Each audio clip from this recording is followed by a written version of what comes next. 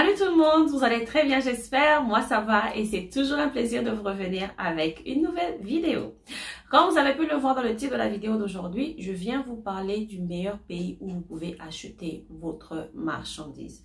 Donc si ça cadre avec ce que vous recherchez ces jours ici, n'hésitez pas à regarder la vidéo jusqu'à la fin. Donc comme je disais dans l'introduction, je viens vous parler de, de, fait des pays où vous pouvez acheter votre marchandise et je suis très sûre que cette vidéo va aider quelqu'un. Nous savons tous que parmi les pays qui sont des leaders au fait dans le, dans le monde en ce moment-ci, nous avons la Chine et la Turquie. Moi personnellement, je suis basée en Turquie. Euh, ça fait plus de deux ans et demi maintenant. Et euh, j'ai pris le temps d'observer le marché, d'observer les marchandises que nous achetons, d'observer différentes choses. Et je pense que cette vidéo, c'est la conclusion de ce que j'ai observé. La première chose, c'est que j'ai remarqué que beaucoup de gens me posent des questions sur la Chine et la Turquie. Mais moi, ce que j'aimerais vous dire, c'est ceci. Chaque pays a son côté fort et son côté faible. C'est ce que vous devez savoir. Si on prend la Chine, on prend l'Inde, on prend le Pakistan, on prend la Malaisie, on prend la Turquie, on prend les États-Unis, on prend différents pays. Chaque pays a son côté fort ainsi que son côté faible. Moi, je dirais, par exemple, comparant la Chine et la Turquie parce que c'est là où nous avons beaucoup d'informations sur YouTube ici. Je ne sais pas pour vous, mais moi, une fois, j'ai essayé de chercher des vidéos sur comment acheter la marchandise en Inde. J'ai pas trouvé beaucoup de vidéos, beaucoup de documentation sur ça. J'ai aussi essayé de voir comment chercher la, comment acheter la marchandise en Malaisie. Il n'y a pas beaucoup de gens qui en parlent. Donc, parlons de ce qui est en train de faire la une, en fait. C'est la Turquie et la Chine. OK? Je dirais que avant de, de décider d'acheter la marchandise d'un pays A ou d'un pays B, ce que vous devez savoir, c'est le côté fort des uns, de l'un et le côté fort de l'autre, ainsi que le côté faible de l'un et le côté faible de l'autre. On ne peut pas nier en ce moment-ci que 80-70% de tout ce qui est dans le monde ici vient de la Chine. La Chine a les plus grandes industries du monde. La Chine est en train de sous-traiter beaucoup de choses. En tout cas, c'est la Chine qui est top, qui est leader dans ce qu'ils font. Et nous savons aussi que sur base de la réputation, la Turquie a la bonne réputation de produire des choses de qualité. Mais moi, selon moi, si on me demande dans quel pays je peux acheter ça ou tel autre, moi je dirais ceci. Je peux dire, il y a cette réputation que nous avons sur la Chine qui est erronée. Pourquoi? Je dirais ceci. Le chinois te donne ce pourquoi tu payes. Un article, une chose peut avoir différentes qualités. Donc, il y a pour 1 dollar, pour 2 dollars, pour 3 dollars, pour 4 dollars. Donc, ce que vous payez, si vous payez pour 3 dollars, vous allez avoir la qualité de 3 dollars. Mais si vous payez pour la même chose, pour 6 dollars ou 7 dollars, vous aurez la qualité de 7 dollars. Et ce n'est que logique et compréhensible. On peut comprendre ça. Avec la Turquie, il n'y a pas beaucoup de ce système-là. C'est vrai qu'il y a des gens qui produisent de la mauvaise qualité ici, made in Turkey. Mais je dirais que même la mauvaise qualité n'est pas aussi mauvaise que ça. Parce que il y a des choses de mauvaise qualité pour moi personnellement que je ne prendrai jamais. Mais je me dis que si on donne ça à quelqu'un dans un milieu donné, avec une clientèle donnée, ça passe. C'est très bien même. Vous comprenez? Donc, je dirais que si on regarde le côté fort de l'un et le côté faible de l'autre, nous verrons que la Chine, je dirais pas son côté faible. La mauvaise qualité, c'est par rapport aussi au prix que vous payez pour avoir cela. Il y a des gens aussi à qui on a déjà promis de la bonne qualité, que ce soit en Turquie, que ce soit en Chine, que ce soit dans d'autres pays, mais ce qu'ils reçoivent ne correspond pas à ce pourquoi ils ont payé. Et ça, ce sont des choses qui arrivent partout. Mais pour ça, moi, je vous dirais que tout dépend. Bon, il y a des gens qui achètent sur Alibaba personnellement. Ça, je ne, je ne, je ne peux pas, je ne sais pas comment expliquer pour eux. Mais je dirais, par exemple, pour ceux-là qui utilisent des agents. Moi, je suis agent, par exemple, en Turquie. Quand quelqu'un m'envoie aller acheter quelque chose ou quand quelqu'un me demande mon avis sur quelque chose, je dis en fonction de ce que je ferai pour moi-même, de ce que je ferai pour mon frère ou pour ma soeur. Il se fait qu'il y a certains agents au lieu de te dire la vérité, ils ne veulent pas parce que euh, ils attendent à leur paiement, à leur argent. Alors, il faut te motiver à acheter pour que je reçoive ma, ma commission, pour que je reçoive mon argent. Et c'est là qu'il y a le problème. Donc, je pense que si vous voulez acheter dans un pays A ou un pays B, vous devez au fait vous rassurer que votre agent a le goût du beau, du bon, de la bonne qualité. Et aussi, je pense aussi à un éthique de travail élevé, dans le sens où si il voit ou elle voit que cette chose n'est pas bonne, cette chose... Vous savez, je me rappelle quand je venue la première année, je recevais des requêtes de gauche, de droite et tout le monde me disait tout. À la fin, j'ai commencé à mettre des choses de différents fournisseurs. Il y avait d'autres. Bon, je peux pas aussi me mettre à tout tester. Il y a des choses, il y a des habits des hommes que je peux pas tester. Il y a des choses que je peux pas tester. Je sais pas dire si c'est bien ou si c'est mauvais. Alors, je me suis retrouvée avec des gens qui ont acheté des choses. Et au premier lavage, les couleurs ont changé. Et les clients sont venus me dire. Et tout ce que je pouvais faire en ce moment-là, c'est de sortir, d'effacer les photos de, ce de ces fournisseurs-là parce qu'ils m'ont mis dans la, dans la boue. Vous comprenez?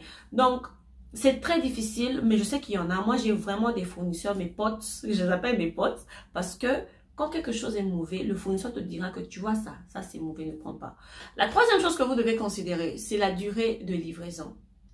Avant de considérer la, la durée de livraison, parlons, parlons du moyen de transport. Je vois, je lis certains endroits, je parle de la Turquie maintenant là en général.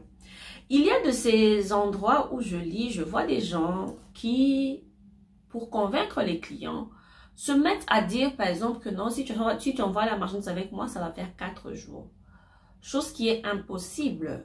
Mais moi, j'aimerais vous parler à vous, les clients. Quand vous cherchez des fournisseurs, quand vous cherchez des agents, quand vous cherchez des gens, en fait, qui vont vous aider à faire votre business, à commencer votre business, à acheter votre marchandise, ayez un esprit réaliste, ayez une pensée réaliste. Vous savez, pensez de manière réaliste. Vous savez comment achète la marchandise, il faut, il faut emballer. Quand on dépose chez le transporteur, il doit aussi emballer. Ils doivent déposer ça à l'aéroport. Il y a toute une démarche administrative qui se fait à l'aéroport. On, on store, on appelle, on garde la marchandise dans des, dans des hangars selon les pays. Et de là, chaque pays va prendre ses marchandises, envoyer dans le pays de destination. Et quand la marchandise arrive dans le pays de destination, dans tous les pays du monde, il y a des processus de douane. Et chaque pays a ses réalités.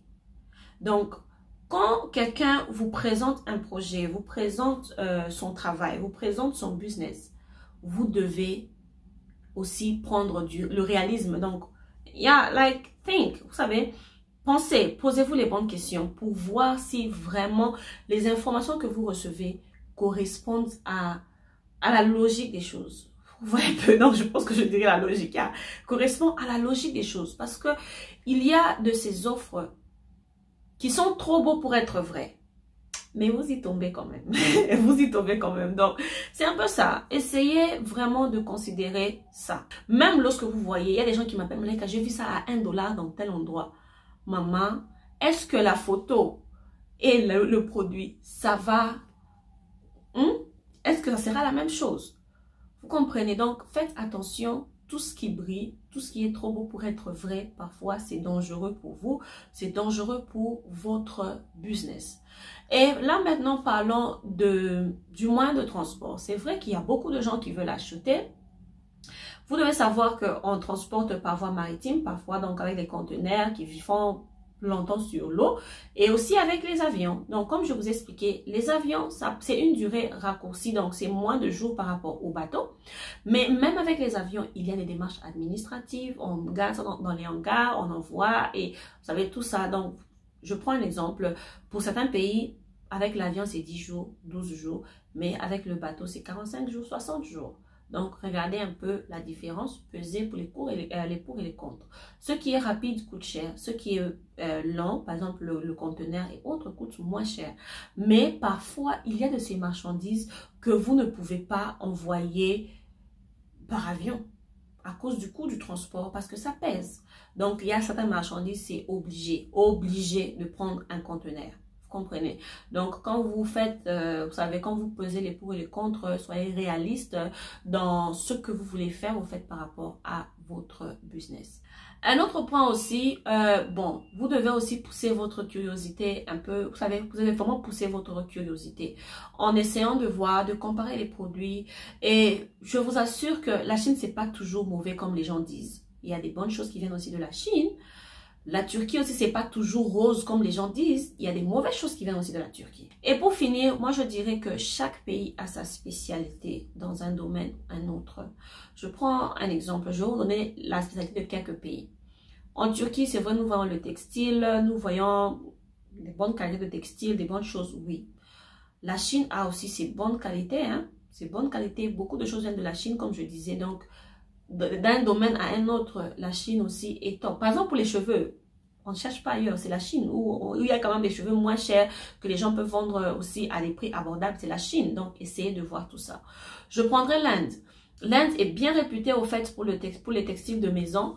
Euh, quand j'étais aux États-Unis, un magasin là des soldes où j'allais toujours, toujours chez Ross.